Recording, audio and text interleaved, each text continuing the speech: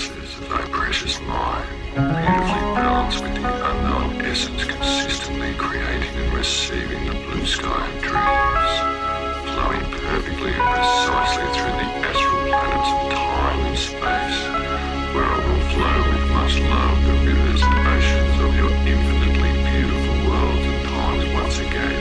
For I am, as we all are a star.